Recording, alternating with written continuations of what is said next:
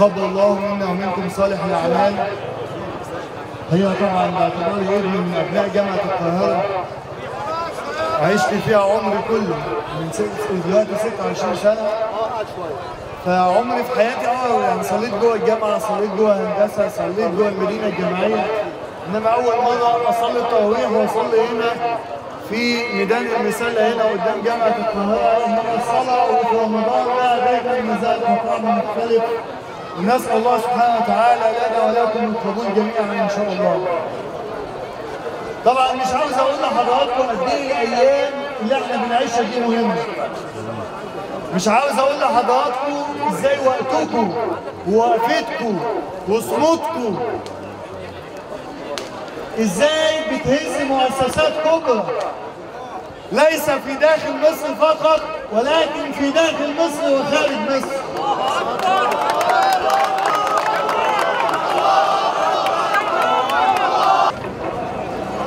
يعني أنا أعرف عن قرب زي ما قلت لحضراتكم قبل كده الفريق أول عبد الفتاح السيسي.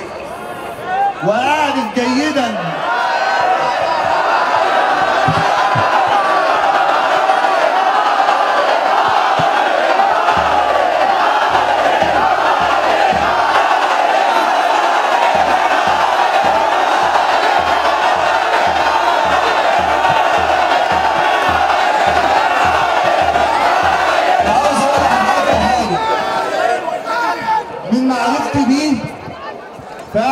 جيدا أنه قبل أن ينفذ فهو يخطط.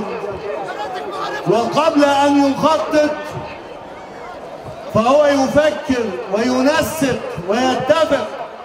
ولذلك أيها الإخوة والأخوات ما نراه اليوم ليس أبدا نتاج أيام أو أسابيع ولكنها شهور من التخطيط. والاتفاق والترتيب والاستعداد للتنفيذ. عاوز أقول لحضراتكم حاجة يا شعب مصر. يا عظيم يا أصيل يا اللي دايما مبهر للآخرين بردود أفعالك بإرادتك بكرامتك بحماستك بوقفاتك أما عملوا استطلاع رأي يوم 4 و5 يوليو يعني بعد الانقلاب ب 24 ساعة و 48 ساعة طلع إن 63% من الشعب المصري بيرفضوا عزل الرئيس الدكتور محمد مرسي.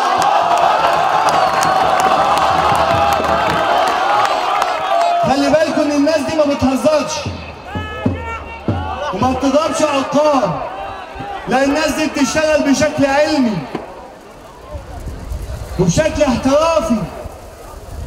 ولذلك أنا عاوز أسأل لحضراتكم كلكم سؤال تفتكروا إحنا من يوم 5 يوليو للنهاردة بنكسب شعبية في وسط الشعب المصري ولا بنتراجع؟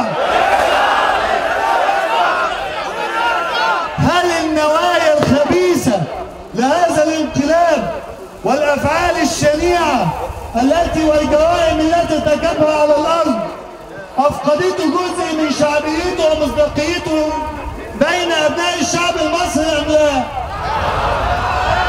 ولذلك أيها الإخوة ولذلك فالوقت بإذن الله في صالحكم والوقت إن شاء الله مع الشرعية ومع هذا الشعب مع إرادته مع كرامته مع حريته